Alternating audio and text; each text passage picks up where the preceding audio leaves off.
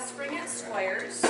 The lyrics may be period. The tune is attributed to a folk artist out of England named Kate Rusby. It is very depressing lyrics, but an incredibly catchy tune. Sounds.